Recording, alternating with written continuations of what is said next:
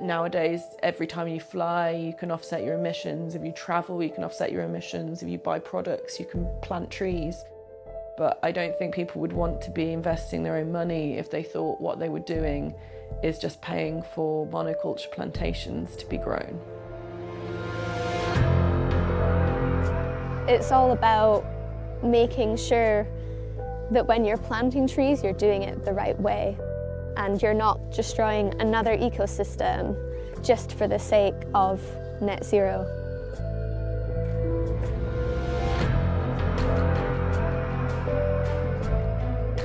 Si les responsables du projet Grande Muraille avaient imaginé seulement une plantation d'arbres, ça n'allait pas aboutir.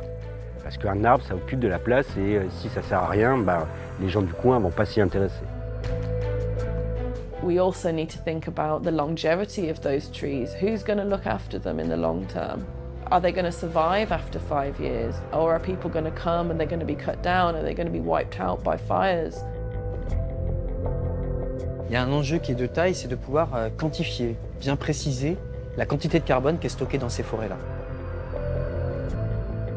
Le temps de la nature et le temps des arbres notamment, c'est pas le temps humain. On n'a aucun moyen de l'accélérer. Crois que le mieux, c'est de laisser la forêt travailler.